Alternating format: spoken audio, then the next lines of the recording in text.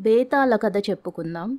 గోదావరి తీరాన ప్రతిష్టానమనే నగరం ఉండేది. దానిని ఒకప్పుడు విక్రమార్కుడనే రాజు పాలించేవాడు. విక్రమార్కుడి ఆస్థానానికి రోజు శాంతిశీలుడనే భిక్షువు వచ్చి పండు ఒకటి కానుకగా ఇస్తూ ఉండేవాడు. రాజు ఆ పండును కోశాధికారికి ఇస్తూ ఉండేవాడు. ఒకనాడు భిక్షువు తన అలవాటు ప్రకారం రాజుకు ఒక పండు ఇచ్చి వెళ్ళిపోయాడు. ఆ సమయంలో ఒక కోతి ద్వారపాలకులను తప్పించుకొని రాజసభలోకి వచ్చింది. భిక్షువు ఇచ్చిన పండును రాజు ఆ కోతికి ఇచ్చాడు. కోతి ఆ పండును తినేసరికి పండులో నుంచి వెళ్ళలేని రత్నం ఒకటి కింద పడింది.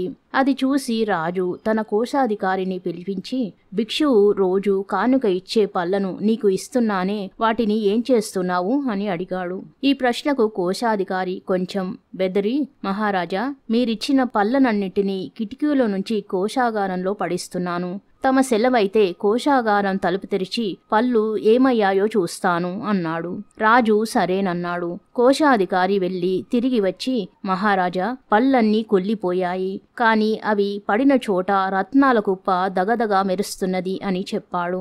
రాజు అతని విశ్వాసానికి మెచ్చి అతన్ని ఆ మనులన్నీ తీసుకోమని మర్నాడు భిక్షు వచ్చి పండు ఇయ్యబోతే భిక్షు రోజు ఇంత విలువైన కానుక ఎందుకిస్తున్నావు? చెబితే గాని పండు తీసుకోను అన్నాడు. ఆ మాటకు భిక్షు రాజుతో ఏకాంతంగా రాజా నేనొక మంత్రాన్ని సాధించాలి. అందుకు ఒక వీరుడి సహాయం కావాలి. నేను నీ సహాయం కోరుతున్నాను అన్నాడు. రాజు భిక్షువుకు సహాయం చెయ్యడానికి సమ్మతించాడు. అప్పుడు భిక్షువు రాజుతో రానున్న కృష్ణ చతుర్దశి రాత్రి చీకటి పడగానే మహాశ్మశానానికి నువ్వు రావాలి. శ్మశానం మధ్య ఉన్న మర్రి చెట్టు కింద నేను నీ కోసం ఎదురు చూస్తూ ఉంటాను అన్నాడు. అలాగే వస్తాను అని రాజు మాట ఇచ్చిన మీదట భిక్షువు వెళ్ళిపోయాడు. కృష్ణ చతుర్దశి వచ్చింది. విక్రమార్కుడు తాను భిక్షువుకు ఇచ్చిన మాట జ్ఞాపకం పెట్టుకుని చీకటి పడగానే నల్లని బట్టలు ధరించి చేత కట్టిపట్టి ఎవరికీ తెలియకుండా రాజధాని నుంచి బయలుదేరి శ్మశానానికి వెళ్ళాడు. శ్మశానమంతా కటిక చీకటిగా ఉన్నది.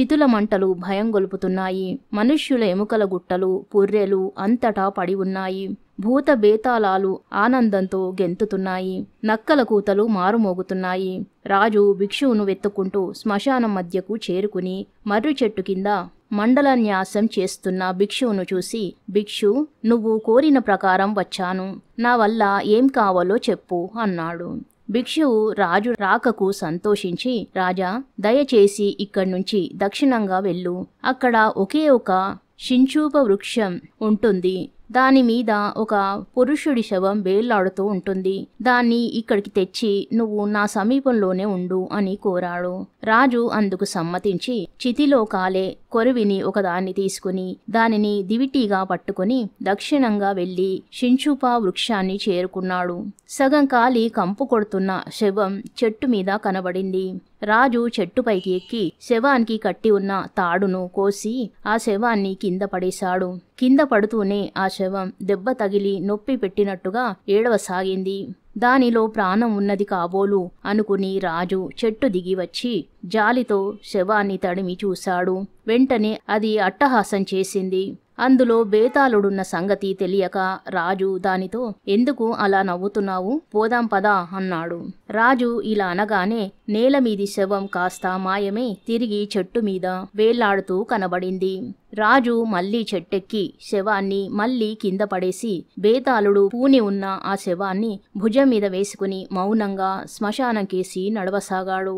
అప్పుడు శవంలోని బేతాళుడు రాజా నీకు వినోదంగా ఉండడానికి ఒక కథ చెబుతాను విను అంటూ ఇలా చెప్పసాగాడు. పూర్వం అంగదేశంలో యశహకేతుడనే రాజు ఉండేవాడు. అతను అందంలో మన్మధుడు. అతను తన పరాక్రమం చేత శత్రువులనందరినీ ఓడించి రాజ్యభారాన్ని దీర్ఘదర్శి అనే మంత్రి పైన పెట్టి అంతఃపురం నుంచి యువతలికి రాక తన కాలమంతా భోగ విలాసాలలో గడపసాగాడు. దీర్ఘదర్శి రాజ్యభారమంతా మోస్తూ అహోరాత్రాలు ఎంతో శ్రద్ధగా ఉంటూ పరిపాలన సాగిస్తున్నాడు. విశ్వాసపాత్రుడైన దీర్ఘదర్శి పైన కూడా ఓర్చలేని వాళ్ళు అపవాదు వెయ్యనే వేశారు. ఈ మంత్రి రాజును భోగలాలనలోకి తోసి తాను రాజ్యం అనుభవిస్తున్నాడు అన్నారు. ఇది తెలిసి దీర్ఘదర్శి మేధావిని అనే తన భార్యతో రాజు సుఖాలు మరిగినందుకు నేను రాజ్యభారం మోస్తుంటే రాజ్యం తినేస్తున్నానన్న నింద నా మీద వచ్చింది. అబద్ధమే అయినా లోక నిందను ఉపేక్షించరాదు. నన్ను ఏం చేయమన్నావు? అని అడిగాడు. దానికి మేధావిని తన భర్తతో మీరు తీర్థయాత్రల మిష మీద రాజుతో చెప్పి దేశాటనకు బయలుదేరండి. అందువల్ల మీ మీద అపవాదు పోవడమే కాక రాజు తానే రాజ్యం చూసుకోవలసి వస్తుంది. కనుక ఆయన భోగలాలన తగ్గిపోతుంది అన్నది. దీర్ఘదర్శి అవకాశం చూసుకుని రాజుతో మహారాజా నేను కొంతకాలం తీర్థయాత్రలు చేసి ఇంత పుణ్యం సంపాదించుకుంటాను. తమరు అనుమతించాలి అన్నాడు. ఇంటి దగ్గరే కూర్చుని పుణ్యం సంపాదించరాదా అన్నాడు రాజు. శరీరంలో పటుత్వం ఉండగానే తీర్థయాత్రలు చేయాలని వయసు మళ్ళినాక అది సాధ్యం కాదని మంత్రి చెప్పాడు. దీర్ఘదర్శి తన వెంట భార్యను రానివ్వక మిగిలిన వారికెవ్వరికీ తాను బయలుదేరుతున్నట్టయినా చెప్పక తీర్థయాత్రలకు బయలుదేరాడు. కొంతకాలానికి ఆయన సముద్ర తీరాన గల పుండ్రదేశం చేరాడు. అక్కడ ఆయనకు నిధిదత్తుడనే వర్తకుడితో స్నేహం కలిసింది. నిధిదత్తుడు వర్తకం మీద సువర్ణ ద్వీపం వెళుతున్నాడని తెలిసి తాను కూడా వస్తానని దీర్ఘదర్శి అన్నాడు. ఇద్దరూ వర్తక నౌకలో ప్రయాణమయ్యారు. వాళ్ళు సువర్ణ ద్వీపం చేరారు. అక్కడ కొన్ని రోజుల పాటు వర్తకం జరిగింది. తిరుగు ప్రయాణంలో దీర్ఘదర్శి సముద్ర మధ్యలో ఒక అద్భుతం చూశాడు. ఒక అద్భుత వృక్షం పైకి లేచింది. దాని మాను బంగారం కొమ్మలు పగడాలు కాయలు రత్నాలు ఆ వింత వృక్షం పైన రత్నాల పాన్పు మీద ఒక అతిలోక సుందరి కూర్చుని పాడుతున్నది. దీర్ఘదర్శి చూడగానే ఆ చెట్టు సుందరి కూడా సముద్రంలోకి దిగిపోయారు. ఇదేమి విచిత్రం? అన్నాడు దీర్ఘదర్శి. ఆయన ఆశ్చర్యం చూసి నావికులు మీకిది కొత్త గనక ఆశ్చర్యపడుతున్నారు. కానీ మేము ఈ ప్రాంతాల ఈ దృశ్యాన్ని ప్రతిసారి చూస్తూనే ఉంటాం అన్నారు. తిరుగు ప్రయాణం ముగిసాక దీర్ఘదర్శి వర్తకుడి వద్ద సెలవు పుచ్చుకొని అంగదేశానికి తిరిగి వచ్చాడు. దీర్ఘదర్శి తాను సరే అనకుండానే యాత్రలకు బయలుదేరడం చేత యశకేతుడు ఆయన కోసం ఇంతకాలము వెతికిస్తున్నాడు. ఆయన నియమించిన చారులు దీర్ఘదర్శిని నగరం బయటనే చూసి చప్పున వెళ్ళి రాజుతో చెప్పారు. యశకేతుడు ఎదురు వెళ్ళి దీర్ఘదర్శిని కౌగలించుకుని తన అంతఃపురానికి తీసుకుపోయి ఏ ఏ తీర్థాలు సేవించావు? ఏమేమి వింతలు చూశావు? అని అడిగాడు. దీర్ఘదర్శి జరిగిందంతా రాజుకు తెలిపి సువర్ణ ద్వీపం నుంచి తిరిగి వచ్చేటప్పుడు సముద్ర మధ్యలో కనిపించిన దివ్య సుందరిని గురించి చెప్పాడు. రాజుకు వెంటనే ఆ కన్య మీద మనసు పోయింది. ఆయన దీర్ఘదర్శితో ఏకాంతంగా నేనా దివ్యసుందరిని చూసి తీరాలి. లేకపోతే నా ప్రాణాలు నిలవవు. నువ్వు నాకు అభ్యంతరం చెప్పకు. నేను ఒక్కడ్నే బయలుదేరిపోతాను. ఈ లోపల నా రాజ్యం నువ్వు చూస్తూ ఉండు. కాదంటే నా మీద ఒట్టే అన్నాడు. మర్నాడే యశకేతుడు తన రాజ్యాన్ని మంత్రికి అప్పగించి రాత్రివేళ బయలుదేరాడు. ఆయన సముద్ర తీరం చేరుకున్నాడు. అక్కడ లక్ష్మీదత్తుడనేవాడు రాజుకు తారసపడి తాను సువర్ణ ద్వీపానికి వర్తకం నిమిత్తం బయలుదేరుతూ రాజును కూడా తీసుకుపోయాడు. వారి ఓడ సముద్ర మధ్యం చేరేసరికి పూర్వంలాగే వింత వృక్షం పైకి వచ్చింది. ఆ చెట్టు మీద ఒక దివ్య సుందరి వీణతో సహా పాడుతూ రాజుకు కంటబడింది. ఆమెను చూడగానే రాజు మోహంలో పడి సముద్రుడా ఈమెను దాచి లక్ష్మిని చూపి విష్ణువును మోసగించావా? అనుకుంటుండగా ఆ సుందరితో సహా చెట్టు సముద్రంలోకి దిగిపోయింది. వెంటనే రాజు కూడా సముద్రంలో దూకేశాడు. సముద్రం అడుగున ఆయనకు ఒక మహానగరం కనిపించింది. అక్కడ ఒక్క ప్రాణి కూడా లేదు. అయినా రాజు పట్టుదలతో నగరమంతా తిరిగి ఒక విశాల భవనాన్ని చూసి అందులో ప్రవేశించాడు. అక్కడ ఒక గదిలో హంసతులిక తల్ప మీద ఆ దివ్య సుందరి పడుకుని ఉన్నది. రాజును చూడగానే ఆమె పాన్పు మీది నుంచి దిగి మీరెవరు? ఈ రసాతలానికి ఎలా వచ్చారు? అన్నది. సుందరి నేను అంగరాజును. నా పేరు యశోకేతుడు. నిన్ను గురించి ఒక మిత్రుడు చెప్పగా విని నీకోసం రాజ్యం వదిలిపెట్టి నిన్ను చూసి సముద్రంలో దూకి ఇక్కడికి చేరాను. నువ్వు ఎవరవు? అన్నాడు రాజు. నేను మృగాంకసేనుడనే విద్యాధరుడి కుమార్తెను. నా పేరు మృగాంకవతి. నా తండ్రి నన్నిక్కడ ఒంటరిగా వదిలి ఎందుకో ఎక్కడికో మిగిలిన పౌరులతో సహా వెళ్ళిపోయాడు. ఇక్కడ ఉన్న కల్పవృక్షం ఎక్కి అప్పుడప్పుడు సముద్రం పైకి లేస్తూ ఉంటాను అన్నదామె. రాజు ఆమెను తీయని మాటలతో కరిగించి తన భార్య కావడానికి ఒప్పించాడు. ఆమె ఒక షరతు మీద అతనికి భార్య కావడానికి ఒప్పుకుంటూ ఇలా అన్నది. ప్రతి నెల రెండు అష్టమి దినాలు రెండు చతుర్దశి దినాలు నేను నీ ఆధీనంలో ఉండను. ఆ నాలుగు రోజులు నేనెక్కడికో పోతాను. ఎక్కడికని నన్ను అడగరాదు. రాజు ఈ నిబంధనలకు ఒప్పుకున్నాడు. ఒకనాడు మృగాంకవతి రాజుతో నేనొక పని మీద ఎక్కడికో పోతున్నాను. నేను వచ్చేదాకా ఇక్కడే ఉండు. ఇక్కడ ఉన్న బావిలో మాత్రం దిగకు. దిగితే భూలోకానికి పోతావు అని హెచ్చరించి బయలుదేరింది. ఆమె ఎక్కడికి పోతున్నదో తెలుసుకోగోరి ఆమె వెనకగా బయలుదేరాడు రాజు. ఆయన చూస్తూ ఉండగానే ఒక బ్రహ్మాండమైన రాక్షసుడు వచ్చి మృగాంకవతిని మింగేశాడు. రాజు తీవ్రమైన కోపంలో కత్తి దూసి రాక్షసుడి తల నరికేశాడు. కోపం చల్లారినా తన ప్రియురాలు పోయిందన్న బాధ అతనికి మిగిలింది.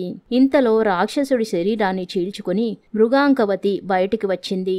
ప్రియురాలా ఇది స్వప్నమా మాయా అని రాజు అడిగాడు. ఏదీ కాదు ఇది నా తండ్రి శాపం. నా తండ్రి నేను వెంట లేకుండా భోజనం చేసేవాడు కాదు. నేను ప్రతి చతుర్దశి నాడు అష్టమి నాడు శివ పూజ చేయబోయేదాన్ని ఒక చతుర్దశి నాడు గౌరీ పూజ చేసుకుంటూ రోజంతా గడిపేశాను. నా కోసం కనిపెట్టుకొని ఉండి నా తండ్రి ఒక్క నీటి చుక్క అయినా తాగలేదు. నన్ను చూడగానే ఆయన ప్రతి చతుర్దశి నాడు అష్టమి నాడు నన్ను ఈ రాక్షసుడు మింగాలని నేను అతని పొట్ట చీల్చుకుని బయటికి రావాలని శాపం పెట్టి ఆ రాక్షసుణ్ణి ఎవరన్నా చంపినప్పుడు నాకు శాప విమోచనం కలుగుతుందని విద్యలన్నీ తిరిగి వస్తాయని చెప్పాడు. నా శాపం తీరిపోయింది. నాకు విద్యలన్నీ తిరిగి వచ్చాయి. జరిగిందంతా జ్ఞాపకం వచ్చేసింది. ఇక నీ దారి నీది. నా దారి నాదీను నేను నా తండ్రి దగ్గరికి పోతున్నాను అన్నది మృగాంకవతి. ఈ మాట విని రాజుకు దుఃఖం ముంచుకు వచ్చి తనతో ఒక వారం ఉండి వెళ్ళమని ఆమెను బతిమాలుకున్నాడు. ఆమె సరేనన్నది. ఆరు రోజులు వారిద్దరూ ఆ ప్రాంతమంతా విహారాలు చేశారు. ఏడవ రోజున ఆయన ఆమెను బావి వద్దకు తీసుకువచ్చి ఆమెను కౌగిలించుకుంటూ గట్టిగా పట్టుకుని ఆమెతో సహా ఆ బావిలోకి దూకేశాడు. వారిద్దరూ యశకేతుడి నగరంలోని బావిలో తేలారు. భూలోకంలోకి చేరగానే మృగాంకవతికి విద్యాధరత్వం పోయి మామూలు మనిషి అయిపోయింది. రాజు ఆమెతో సహా తన మందిరం ప్రవేశించి ఆమె మామూలు మనిషి అయ్యిందని తెలుసుకుని పరమానందం చెందాడు. ఇదంతా కల్లార చూసిన దీర్ఘదర్శి తన ఇంటికి తిరిగిపోయి ఆ రాత్రి పడుకుని గుండె ఆగిపోయి చచ్చాడు. బేతాళుడు ఈ కథ చెప్పి రాజా దీర్ఘదర్శి ఎందుకు చచ్చాడు? వెళ్ళిపోయాడనుకున్న రాజు తిరిగి వచ్చి తన ఏలుబడికి విఘ్నం కలిగించాడనా? తాను చూసి కూడా పెళ్ళాడలేని అందెగత్తను రాజు పెళ్ళాడాడనా ఈ ప్రశ్నకు సమాధానం తెలిసి కూడా చెప్పకపోయావో నీ తల పగిలిపోతుంది అన్నాడు. దానికి విక్రమార్కుడు దీర్ఘదర్శి చావుకు నువ్వు చెప్పినది ఏది కారణం కాదు.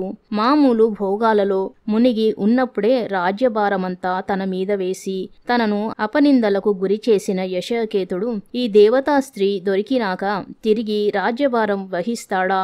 తాను యావజ్జీవం అపనిందల పాలు కాక తప్పదన్న విచారంతో దీర్ఘదర్శి గుండె పగిలి చచ్చాడు అన్నాడు. రాజుకు ఈ విధంగా మౌనభంగం కలగగానే బేతాళుడు శవంతో సహా మాయమై తిరిగి చెట్టెక్కాడు. కథ సమాప్తం. ఇంకొక బేతాళ కథ చెప్పుకుందాం. తారుమారు అనే కథ. పట్టువదలని విక్రమార్కుడు చెట్టు వద్దకు తిరిగి వెళ్ళి చెట్టు మీది నుంచి శవాన్ని దించి భుజాన వేసుకుని ఎప్పటిలాగే మౌనంగా శ్మశానం కేసి నడవసాగాడు. అప్పుడు శవంలోని బేతాళుడు రాజా నీ దీక్ష చూస్తే ఒక పక్క అద్భుతంగా తోచినప్పటికీ మరొక వంక ఈ దీక్ష ఆకస్మికంగా సడలిపోతుందేమోనన్న అనుమానం కలుగుతుంది. దేవుడు యందు ఎంతో దృఢభక్తి గల వీణావంతుడు ఒక్క క్షణంలో నాస్తికుడైపోయాడు కదా. నీకు శ్రమ తెలియకుండా అతని కథ చెబుతాను విను అంటూ ఇలా చెప్పసాగాడు. కళింగ దేశంలో వీణావంతుడు వైద్యం చేసుకుంటూ ఉండేవాడు. అతను ఎన్నో అద్భుత చికిత్సలు చేసి అపర ధన్వంతరి అనిపించుకున్నాడు. అతను పరమశివ భక్తుడు. అతను శివాలయంలోనే ఎప్పుడూ ఉండేవాడు. అతనితో పని ఉన్నవాళ్ళు శివాలయానికి వెళ్తే తప్ప దొరికేవాడు కాదు. వీణావంతుడికి ఇల్లు వాకిలి భార్య బిడ్డలు లేకపోలేదు. కాని అతను ఆ ఇంటికి ఎప్పుడో చుట్టపు చూపుగా మాత్రమే వెళ్ళేవాడు. అతనికి సంసార తాపత్రయం ఏనాడూ లేదు. ఒకప్పుడు అతను ఒక ధనికుడికి చికిత్స చేసి మృత్యుముఖం నుంచి బయటకు లాగాడు. ఆ ధనికుడు కృతజ్ఞతతో అతనికి తన కూతురైన యశోధరను ఇచ్చి పెళ్ళి చేసి వాళ్ళు ఉండడానికి ఒక ఇల్లు కూడా కట్టించి ఇచ్చాడు. వీణావంతుడికి భార్య పట్ల ప్రేమ లేకపోలేదు. ఆమెకు పిల్లలను కూడా కన్నాడు. ప్రవృత్తి మారలేదు. అస్తమానము శివాలయంలో కూర్చునేవాడు. అక్కడే రోగులను చూసేవాడు. డబ్బు సంపాదించేవాడు. కానీ ఆ డబ్బు ఇంటికి చేరేది కాదు. శివాలయంలో కనిపించిన పేద శివభక్తులకు దానంగా వెళ్ళిపోయేది. వైద్యంతో తీరక అతను రోజుల తరబడి ఇంటి ముఖం చూసేవాడు కాదు. భార్య డబ్బులు కావాలని కబురు చేస్తే తన వద్ద మిగిలి ఉన్న కొద్ది డబ్బులు ఇచ్చి పంపేవాడు. యశోధర అభిమానవతి భర్త సహాయం లేకుండా తాను ఒంటరిగా సంసారం పిల్లల సంరక్షణ చూసుకోవడంతో ప్రాణం విసిగిపోయి ఆమె ఒకనాడు తన ఇంటిని యశోవంతుడనే ధనికుడికి అమ్మేసి పిల్లలతో సహా పుట్టింటికి వెళ్ళిపోయింది. చిత్రమేమిటంటే తన భార్య ఈ పని చెయ్యడం వీణావంతుడికి చీమ కుట్టినట్టయినా కాలేదు. యశోధర నుంచి ఇల్లు కొన్న యశోవంతుడు పరమనాస్తికుడు. దేవుడి పేరు తెస్తే చిరాకు పడేవాడు. ఏ దేవుడికి దండం పెట్టకుండానే ఆయన కోట్లు ఆర్జించాడు. వైద్యంలో వీణావంతుడి హస్తవాసి ఎటువంటిదో వ్యాపారంలో యశోవంతుడి హస్తవాసి కూడా అటువంటిదే. ఆయన మట్టి పడితే బంగారమయ్యేది. యశోవంతుడి భార్యలు ఇద్దరు సంతానం లేకుండా ఒకరి తరువాత ఒకరు పోయారు. ఆయన మూడో భార్య గర్భవతి అయ్యింది యశోవంతుడి ఆనందానికి మేరలేదు. తాను గర్భవతి కావడం దేవుడి అనుగ్రహం వల్లనే అని భార్య అనేసరికి నువ్వు అలా అనుకోదలిస్తే అనుకో. నేను మాత్రం దేవుడి దయ అని నమ్మను అన్నాడాయన. యశోవంతుడి భార్య తొమ్మిది నెలలు మోసి మగ బిడ్డను కన్నది. కాని అది బిడ్డ కాదు శవం. తోలు కప్పిన ఎముకల గూడు. ఆ బిడ్డలో చలనం లేదు. అయితే గుండె కొట్టుకుంటూనే ఉన్నది. ఈ బిడ్డను వీణావంతుడు బతికిస్తే బతికించాలి. మరొకడి వల్ల కాదు అన్నారు యశోవంతుడి బంధువులు. వీణావంతుడంటే యశోవంతుడికి చాలా హీనమైన అభిప్రాయం ఉన్నది. అతను దైవమూఢుడు సంసారాన్ని చూసుకోలేని అసమర్థుడు. ఇలాంటి అభిప్రాయం ఉన్నప్పటికీ యశోవంతుడు తనకు లేక లేక పుట్టిన బిడ్డ బతుకుతాడేమోనన్న ఆశ కొద్దీ అలా అయితే అతన్ని పిలుచుకురండి అని తన వారితో అన్నాడు. మనుషులు శివాలయానికి వెళ్ళి వీణావంతుడితో సంగతి చెప్పి అతన్ని తమ వెంట రమ్మన్నారు. ఆ నాస్తికుడి వద్దకు నేను రాను. అతడు ఆలయానికి వచ్చి శివలింగం ముందు సాష్టాంగపడి అపరాధం చెప్పుకుంటే అతడి బిడ్డకు చికిత్స చేస్తాను. ఆ తరువాత అంతా పరమశివుడి దయ అన్నాడు వీణావంతుడు. యశోవంతుడు తన బిడ్డను తీసుకుని శివాలయానికి వెళ్ళి బిడ్డను వీణావంతుడి ముందు పెట్టి శివలింగం ముందు సాష్టాంగపడి లేచి చెంపలు వేసుకున్నాడు. ఆయన ఇదంతా చేసింది వీణావంతుడి తృప్తి కోసమే గాని తనకు దేవుడియందు నమ్మకం కుదిరి కాదు. వీణావంతుడు తన సంచికట్టు నుంచి ఏదో గులిక తీసి రంగరించి బిడ్డ నోటికి రాశాడు. వెంటనే బిడ్డ కదిలి కెవ్వున ఏడవనారంభించాడు. ఈ వింత చూడవచ్చిన వారంతా అంతులేని ఆశ్చర్యం చెందారు. అదే క్షణంలో యశోధర పెద్ద పెట్టున ఏడుస్తూ తన ఆఖరు బిడ్డను భుజం మీద వేసుకుని వచ్చి నా బిడ్డను కాపాడండి అంటూ స్పృహ లేకుండా ఉన్న బిడ్డను తన భర్త ముందు ఉంచింది. వీణావంతుడు బిడ్డ నాడి పరీక్షించి బిడ్డ నోటిలో ఒక మాత్ర వేశాడు. ఆ బిడ్డ ఒకసారి కళ్ళు తెరిచి తల్లి వంక చూసి ప్రాణం వదిలాడు.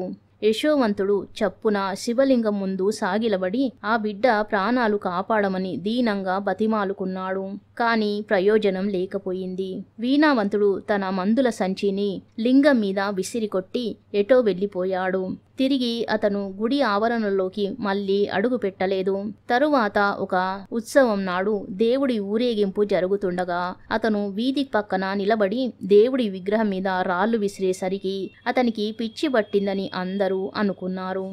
వేతాళుడు ఈ కథ చెప్పి రాజా పరమ భక్తుడైన వీణావంతుడు ఉన్నట్టుండి నాస్తికుడు కావడానికి పరమ నాస్తికుడైన యశోవంతుడికి భగవంతుడిలో విశ్వాసం కలగడానికి కారణమేమిటి? మనుషులు భగవంతుని నమ్మడం కేవలం స్వార్థంతోనేనా? ఈ ప్రశ్నకు సమాధానం తెలిసి కూడా చెప్పకపోయావో. నీ తల పగిలిపోతుంది అన్నాడు.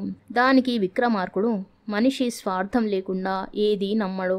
యశోవంతుడు తన కొడుకు బతికాడు కదా అని దేవుడిలో నమ్మకం తెచ్చుకున్నాడు. అలాంటి స్వార్థంతోనే వీణావంతుడు కూడా దేవుణ్ణి నమ్ముతూ వచ్చాడు. అతనికి తన వైద్యంలో ఏనాడు నమ్మకం లేదు. తాను నిమిత్త మాత్రంగా చికిత్సలు చేస్తుంటే శివానుగ్రహం వల్ల రోగులకు నయమవుతున్నదని అతను భ్రమపడుతూ రావడమే అతను చేసిన పొరపాటు. ఇలాంటి స్వార్థం ఆధారంగా ఉండబట్టే తన కొడుకు చనిపోయేసరికి ఆ విశ్వాసం కాస్త పోయింది. తన కొడుకు బతకకపోవడానికి కారణం తాను సరి అయిన చికిత్స చేయలేకపోవడమేనని గ్రహించక తప్పు దేవుడిపైన తోసాడు అలా దేవుణ్ణి తన వైద్యానికి అడ్డు పెట్టుకొని మూఢుడు కావడం చేత అతను వెర్రివాడైపోయి లోకానికి వైద్యుడిగా తాను చేయగల ఉపకారాన్ని గంగపాలు చేసేశాడు అన్నాడు. రాజుకు ఈ విధంగా మౌనభంగం కలగగానే బేతాళుడు శవంతో సహా మాయమే తిరిగి చెట్టెక్కాడు. కథ సమాప్తం. ఈ కథా స్రవంతి మీకు నచ్చినట్టయితే లైక్ చేయండి షేర్ చేయండి సబ్స్క్రైబ్ చేసుకోండి. Thank you.